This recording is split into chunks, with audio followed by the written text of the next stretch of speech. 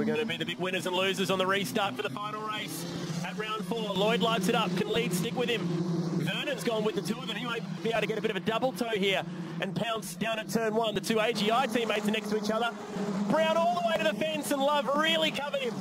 That was close. Intra-team war there. He's on the inside of the yellow line. You can't get any further over. Now he says, I'll go around the outside and makes it stick. Good job, Will Brown. Close racing between those two. Hayek, he wants to buy in for BRM. And no change at the front with a, oh, Love aggressively slams the door shut. And it's probably a good move. He actually said, don't even think about it. it's, uh, it's not on. He needs to try and fight for this position, Jordan Love. He really does, because he's only one point ahead of Jimmy Vernon for the podium. So he can't lose that spot to Harry Hayek. Oh, and he's all the way over to the left-hand side, trying to protect from Hayek. So we go over the top, bit of a wiggle from Vernon. There's a podium up for grabs here. This is second for the round and third for the round, potentially fighting it out, depending on what happens to Love, who's got his hands full on the curbs. Hayek's through. yep. Gretsch is through, and there goes the podium, surely. What a real shame. That safety car just killed that momentum that Jordan Love had. Look, he's done an outstanding job. We've got to remember he's only 16 years of age. For a starter, has never been here before. The race is not over. Still got six laps to run, providing we go full distance, depending on it is a time certain race. So we'll keep an eye on that. Randle now. Safety cars work well for him. Yep. Up on the back of Vernon. Now, if Randle can get around Vernon, that might just put Love back on the podium. So it's not completely over. Plus, Love might be able to pick off one or two spots at the end and get them back. Here is that battle for third. Third on the racetrack, but also could have repercussions for the round podium. And Randle just needs to gather as many points as he can here because Lloyd's on for pretty much the perfect 82 for the weekend. And Randle's looking getting 48, so that's losing a lot of ground in the championship right there. Still the next round for Jayco Formula 4 is the Gold Coast. Anything can happen up there. From there we head to Phillip Island, a nice purpose-built open-wheeler racetrack. And then the grand finale all the way to December at Homebush. So still a lot of racing to go. Anything can happen. Which is why Randle just needs to gather as many points now and hope that he gets a little bit of luck in those last three races. And like he said, anything can happen at Surfers Paradise. There's lots of walls, lots of curves. And maybe, you know, you never know, Lloyd might have some of those uh, issues along the way like Randle's had. We're talking about mechanical things here. They don't always work to 100%. And if uh, Lloyd does get just a little bit of bad luck, maybe Randle will be able to pounce in this championship later on in the championship scenario when we get to those last few rounds. But he needs to get the points now while he can. And a test day for all these drivers next Wednesday at Phillip Island, so they get to have a good hit out at a track we're running at in a couple of months' time. So home circuit, certainly for Thomas Randle. Jordan Lloyd also done a lot of racing there in Formula Ford in the past. Vernon now under a lot of pressure from Thomas Randle. Every position counts for his championship. Will he have a look at the inside? No, sits up the back of the gearbox. And as you mentioned, if he gets past Vernon, could have a very close battle for that third in the round. In fact, they could be tied on points, which would go to Vernon for finishing the highest position in the last race. What are we looking at here? on the restart.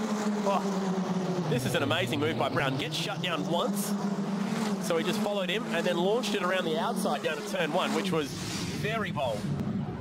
Love Yeah, seeing nice move on the outside. That's open wheel stuff. Get it done around the outside. Use the aero. Use the tyres. Great job here by Jimmy Vernon. He hasn't made a mistake, hasn't locked the brake, hasn't run wide.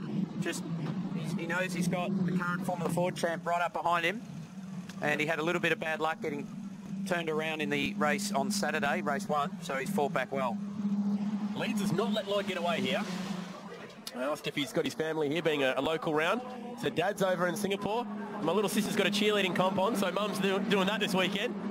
Here on his own. Someone must have dropped him to the circuit because he doesn't even have his L plates yet on the road.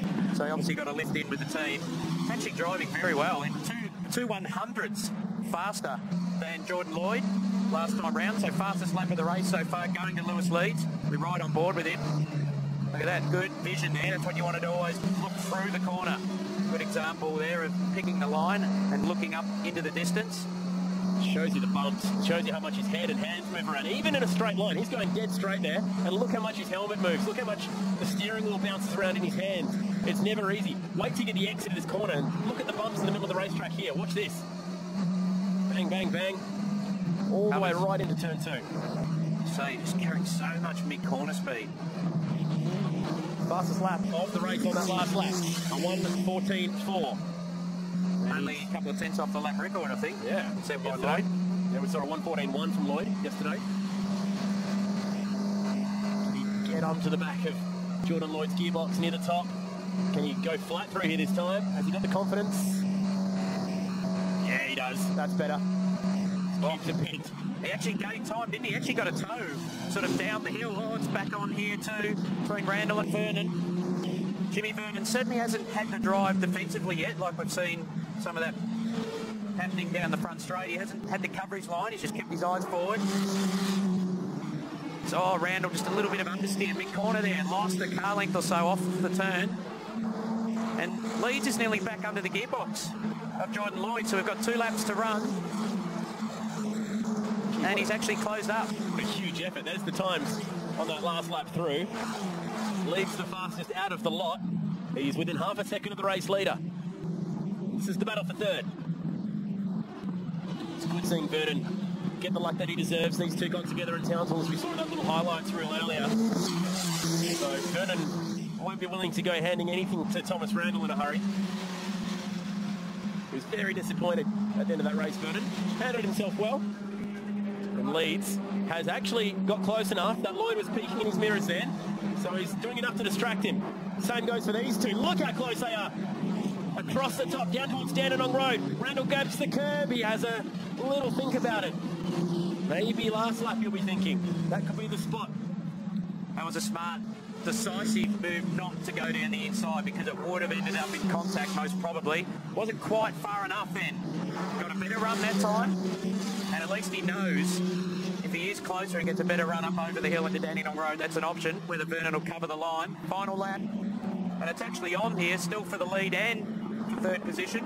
And, and Will Brown is four tenths of a second quicker than these two on that last lap, so he might just be on the back of this battle at the end. Final lap for the weekend in what's been a ripper round of CAMS Jayco Formula 4. Randle with so much speed, but just no way through. And Will Brown is just about there, so this might even be a three or four car battle for third at the end. Leeds has finally been broken by Lloyd here. Lloyd just did the fastest lap of the race on that last lap, so it looks like he's done enough. He's answered the call. Oh, and I think he's maybe made half a mistake too. Yeah. So just trying hard, pushing, trying to carry probably a little bit more mid-corner, which meant he needed more on the exit just ran off the road. So this is the man to catch. He's got one hand on the Jayco prize, the Jayco way to the world, the pathway to the world, $150,000 at the end of the year, and he's looking really good. For the first time in CAMS Jayco Formula 4, we see a perfect weekend. Pole, three race wins, and congratulations to Jordan Lloyd, who has done it in convincing fashion. He beats on Lewis Leeds for race two, and in the background, we see Vernon hang on for third in the race, third in the round, and that is very much deserved. His first podium. Second time he's finished third in a race, but first time he's finished third for the round. And Lloyd has, like you said, one hand on the trophy. 150k up for grabs at the end of this championship. Halfway to the world, he has his sights firmly set on Europe and maybe even the USA where he's raced before. That's how they wound out at the end of a busy 15 lapper. Leeds was impressive but couldn't quite get around Lloyd.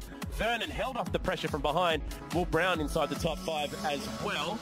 And Jordan Love should still hang on for the Burson Rookie of the Round award. Congratulations to him on a good weekend here at Sandown. Zane Goddard, unfortunately.